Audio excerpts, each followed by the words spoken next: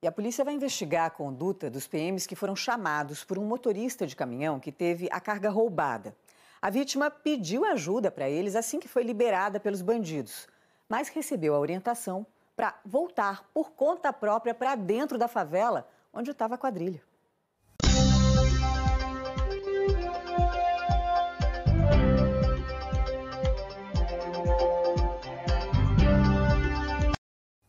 Marcas nas laterais e na parte de cima da carreta. Foi por ali que os bandidos saquearam a carga. O pesadelo do motorista, que durou mais de 10 horas, começou ontem à noite na Dutra. Ele dirigia esse caminhão carregado com encomendas de uma empresa de comércio eletrônico, quando foi abordado por bandidos na altura de São João de Meriti. Um deles entrou na cabine e obrigou o motorista a dirigir até a favela da Ficap na Pavuna. O caminhão então seguiu até um campo de futebol na rua Cássia, onde os bandidos roubaram as encomendas. O motorista foi liberado, mas a noite de terror estava longe de acabar. O caminhão estava atolado e ele não conseguia ir embora.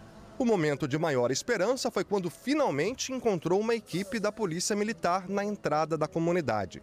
Mas o diálogo não foi como esperado. Acabei de falar com o motorista aqui, os bandidos mandaram ele descer lá para falar com a polícia, para falar para a polícia que iam liberar ele, que estava tudo bem, para não ter confronto, que eles só queriam a carga e depois iam liberar o motorista. E daí o próprio policial falou para ele, ó, oh, cara, é melhor você voltar, senão os caras vão te matar, vai dar ruim para você. Essa frase do policial para ele.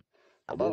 Nós estamos desenrolando lá, acabei de falar com o motorista, o motorista não pode sair da favela ainda. Temos uma pessoa nossa lá negociando com com, com os bandidos lá. O dia amanheceu e nada. O motorista continuava na favela, a carreta permanecia atolada. A polícia seguia do lado de fora.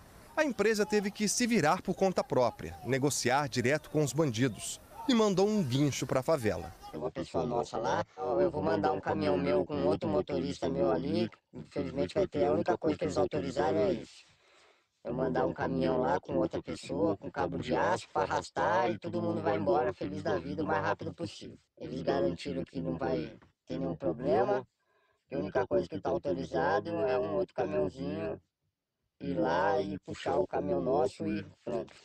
O motorista prestou depoimento aqui na delegacia da Pavuna. Estava assustado e não quis dar entrevista. Ele foi liberado no início da tarde, depois de um longo dia de expediente. Em nota, a Polícia Militar informou que, por se tratar de uma área conflagrada, não poderia retirar o veículo durante o horário da madrugada.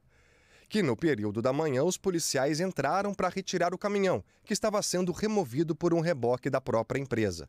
Sobre a conduta dos PMs, que, segundo a empresa, orientou o motorista a voltar para a comunidade, a PM disse que vai abrir um inquérito para investigar o caso.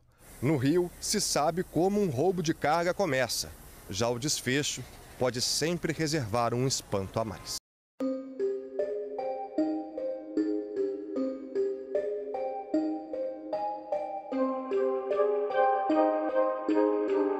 E eu vou ficando por aqui.